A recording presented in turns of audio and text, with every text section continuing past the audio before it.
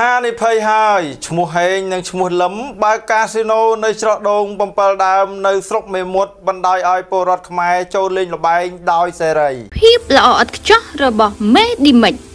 មេឌីមិចធម្មជាតិពិតសម្រាប់ពិត ប្រភព2នាក់ចូលទៅដល់ក្នុងកាស៊ីណូយីហោ69នៅច្រកដាហើយច្រកដូង7ដើមបានឲ្យដឹងថាក្នុងមួយថ្ងៃមួយថ្ងៃមានពលរដ្ឋខ្មែរជិះម៉ូតូជិះរថយន្តទៅលេងល្បែងបញ្ជូលមន់ប៊ីអាប៉ោងយូគីនិងល្បែងផ្សេងផ្សេងទៀតក្នុងកាស៊ីណូនោះរាប់រយរាប់ពាន់នាក់ប្រភពបានឲ្យដឹងទៀតថាមានអ្នកខ្លះចាញ់ល្បែងអស់លុយកាក់ ទ្រព្យសម្បត្តិម៉ូតូនិងរថយន្តជាបន្តបន្ទាប់ហើយឈ្មោះហេងនិងឈ្មោះលឹមអាចប្រមូលលុយបានរាប់រយលាននិងរាប់ម៉ឺនរាប់សែនដុល្លារក្នុងមួយថ្ងៃមួយថ្ងៃប្រភពខ្លះបានឲ្យដឹងថាមានមន្ត្រីធំធំក្នុងខេត្តត្បូងឃ្មុំមួយចំនួនសំងំទទួលទទួលផលប្រយោជន៍ពីឈ្មោះហេងនិងឈ្មោះលឹមដែលបើកលបែងស៊ីសងក្នុងកាស៊ីណូយីហោ69នៅច្រកដាហៅច្រកដូង7ដើមទើបបណ្ដាលឲ្យមេលបែងស៊ីសងទាំងនោះធ្វើអ្វីៗតាមអំពើចិត្តប្រភពពីប្រជាពលរដ្ឋរស់នៅក្បែរច្រកដាហៅច្រកដូង7ដើម នៅភូមិដាឃុំដាស្រុកមេមត់ខេត្តត្បូងឃ្មុំបានឲ្យដឹងថាឈ្មោះហេងនិងឈ្មោះលឹមម្ចាស់កាស៊ីណូដែលមានយីហោលេខ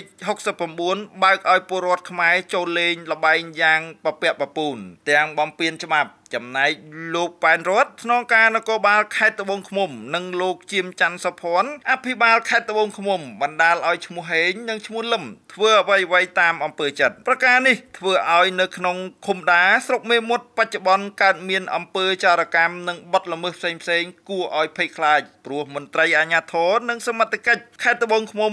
មិនបង្ក្រាបលបែងស៊ីសងដើម្បីពង្រឹងសន្តិសុខសង្គមឲ្យស្របទៅតាមគោលនយោបាយភូមិឃុំមានសវត្ថភាពទាំង9ចំណុចនោះឡើយប្រជាពលរដ្ឋ បានអំពាវនាវឲ្យថ្នាក់ដឹកនាំក្រសួងមហាផ្ទៃនាយឧត្តមស្នេហ៍និតសវឿនអគ្គស្នងការនគរបាលជាតិពិនិត្យឡើងវិញជាបន្ទាន់ចំពោះករណីឈ្មោះហេងនិងឈ្មោះលឹមម្ចាស់កាស៊ីណូនៅច្រកដូង7ដើម ដែលបើកឲ្យពលរដ្ឋខ្មែរចូលលេងល្បែងស៊ីសងយ៉ាងពេញបន្ទប់ដោយហេតុថាលោកប៉ែនរតស្នងការនគរបាលខេត្តត្បូងឃ្មុំនិងលោកជាមច័ន្ទសុភ័ណ្ឌអភិបាលខេត្តត្បូងឃ្មុំកំពុងបណ្ដោយឲ្យឈ្មោះហេងនិងឈ្មោះលឹម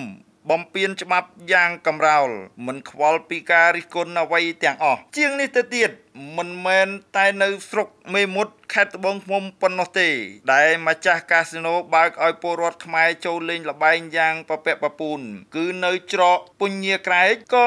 ម្ចាស់កាស៊ីណូឲ្យពលរដ្ឋខ្មែរចូលទៅលេងល្បែងយ៉ាងកក្រឹកកក្រែងជុំវិញរឿងនេះដែរទូរទស្សន៍អនឡាញ TNM មិនអាចសុំការបំភ្លឺពីលោកប៉ែនរតស្នងការនគរបាលខេត្តត្បូងឃ្មុំ និងលោកជាមច័ន្ទសុភ័ណ្ឌអភិបាលខេត្តត្បូងឃ្មុំបានឡើយ